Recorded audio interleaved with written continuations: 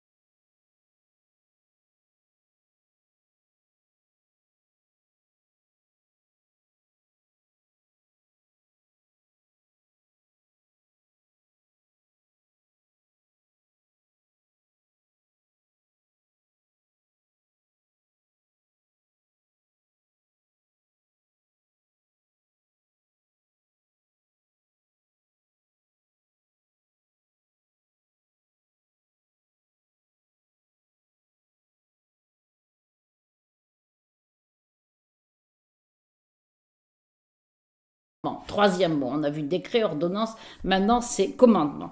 Mais il faut remarquer, vous n'ajouterez rien et vous n'enlèverez rien. Euh, ce qui crée une polémique justement chez les juifs à propos de ce qui sera dit dans l'évangile. J'en reparlerai tout à l'heure. hein. Donc vous n'en ajouterez rien, vous n'enlèverez rien, mais vous garderez. Alors on a vu écouter, hein, écouter c'est Shama, Shma Israël, et garder c'est Shmar, euh, Shomer, le gardien. Euh, garder, euh, c'est forcément pour mettre en pratique aussi. Garder les commandements. Alors c'est un troisième mot. Ici, c'est mitzvot, les commandements qui supposent une obéissance confiante dans ce que Dieu demande. Voilà ce qu'en dit toujours le même psaume 118, verset 32. Je cours dans la voie de tes volontés, commandements ici, hein, car tu mets au large mon cœur. C'est une voie de liberté. hein. Si j'obéis au commandement du Seigneur, je vis au large, je respire, je suis dans la liberté. Et dans ce même psaume, au verset 47, je trouve mon plaisir en tes commandements, oui, vraiment, je les aime. Ça, c'est euh, voilà ce que veut dire euh, ce, que, ce à quoi correspond ce que le Seigneur nous demande, ou même ce qu'il nous ordonne. Mais il faut voir ce qu'il y a derrière. Donc euh, Moïse transmet au peuple ce désir de Dieu de nous donner euh, des décrets, des ordonnances, des commandements pour les écouter et pour les garder. Quant à l'évangile, donc je passe à Saint Marc, il est dit que Jésus est avec ses disciples et il voit quelques-uns de ses disciples prendre leur repas avec des mains impures, c'est-à-dire non lavées. Les pharisiens, en effet, comme tous les juifs, se lavent soigneusement les mains avant de manger par attachement à la tradition des anciens. Hein, Il ne se réfère pas directement au commandement du Seigneur, mais à la tradition des anciens. Euh, les mains impures, c'est-à-dire non lavées, impur en hébreu, c'est très clair, ça veut dire mélanger, souiller dans le sens de euh, le bien et le mal sont mélangés, le profane et le sacré sont mélangés. On ne fait pas de distinction.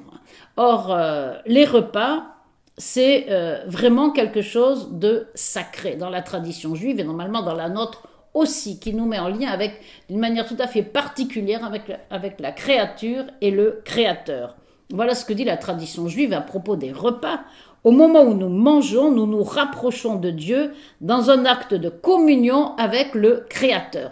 Donc on mange pas n'importe comment. Se laver les mains, ça voulait un peu dire ça. Mais ce que euh, donc c'était c'était pas faux de se dire on va séparer avant le repas et après le repas pardon, oui, avant le repas et au moment du repas, et ça va être marqué par le fait de se laver les mains.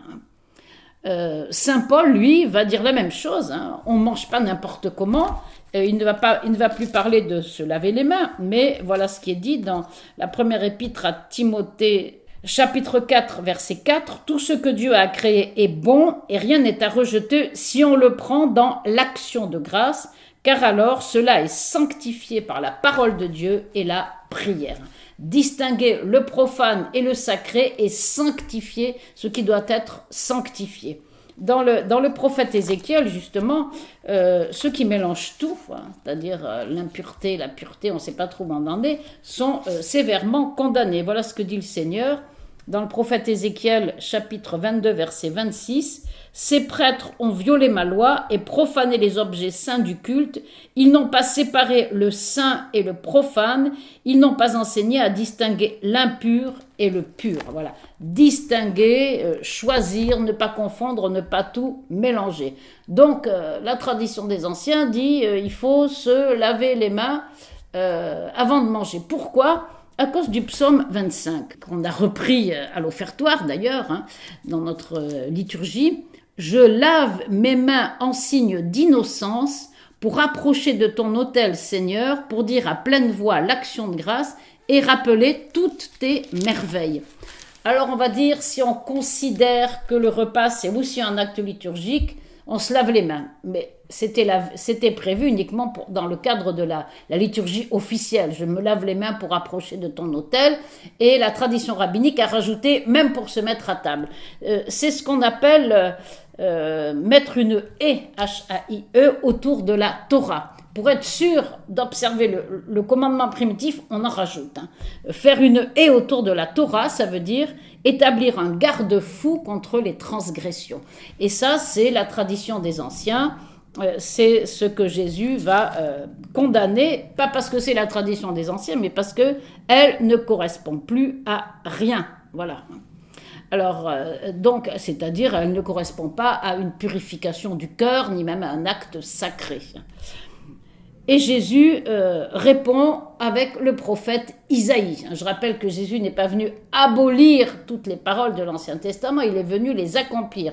Il répond avec Isaïe. Isaïe 29, 13. Ce peuple s'approche de moi en me, en me glorifiant par la bouche et les lèvres, alors que son cœur est loin de moi.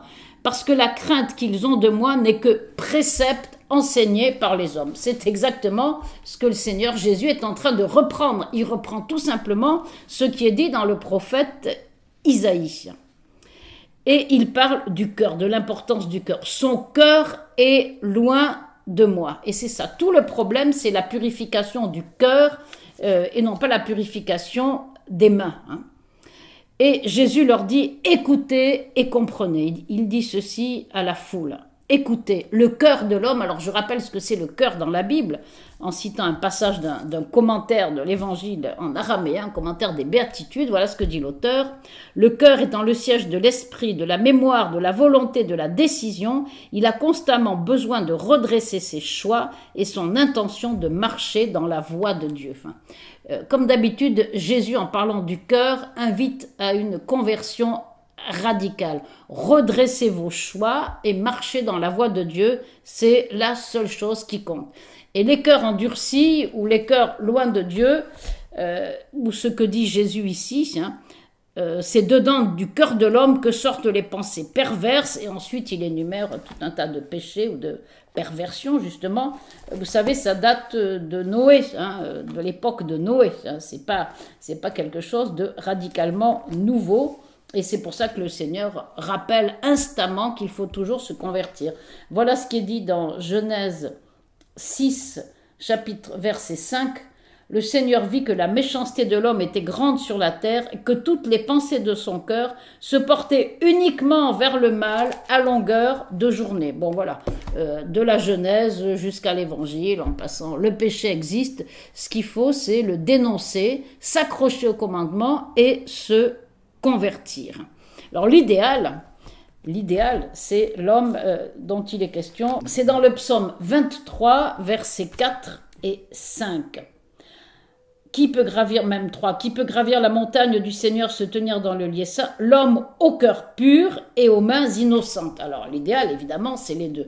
Le cœur pur et les mains innocentes. Les mains, c'est l'accomplissement de ce qui est dans le cœur. Donc euh, voilà. Et aussi le psaume qu'on va entendre en ce dimanche, hein, celui qui se conduit parfaitement, qui agit avec justice et dit la vérité selon son cœur. Ça ne veut pas dire selon sa, sensibilité, ses tripes ou ses entrailles. Ça veut dire il décide de dire la vérité devant Dieu. Il ne fait pas de tort à son frère, etc. L'amour du prochain. Voilà, c'est ce que Jésus est en train d'enseigner à ses disciples dans l'évangile que nous entendons.